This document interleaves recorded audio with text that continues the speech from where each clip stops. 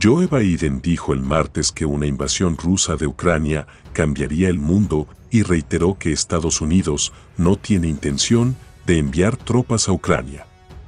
Habrá enormes consecuencias si el presidente ruso, Vladimir Putin, entrara e invadiera, como pudo, todo el país, o mucho menos, para Rusia, no solo en términos de consecuencias económicas y políticas, pero habrá enormes consecuencias en todo el mundo, dijo Biden a los periodistas durante una visita a una tienda en Washington el 25 de enero.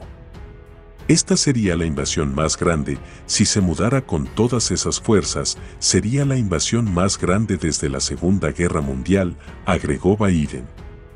Cambiaría el mundo. El martes temprano, la secretaria de prensa de la Casa Blanca, Jen Psaki, dijo que no hay intención, interés o deseo del presidente de enviar tropas a Ucrania. Y Biden ha dicho anteriormente que enviar tropas a Ucrania está fuera de la mesa. Los funcionarios de la administración continúan afirmando que Estados Unidos y sus aliados impondrían sanciones severas contra Rusia si invadiera Ucrania y que el movimiento de decenas de miles de tropas rusas a lo largo de la frontera con Ucrania sugiere que podría ocurrir una invasión en cualquier momento.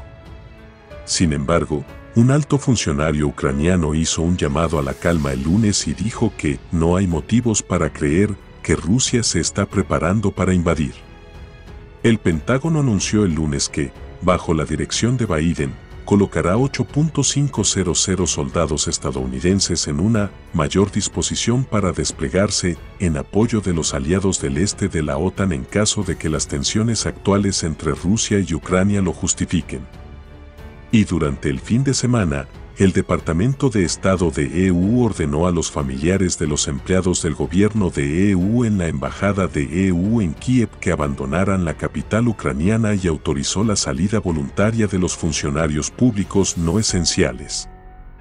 Rusia ha negado que esté planeando una invasión, pero ha emitido una lista de demandas que incluye la promesa de la OTAN de no permitir que Ucrania se convierta en un Estado miembro de la OTAN.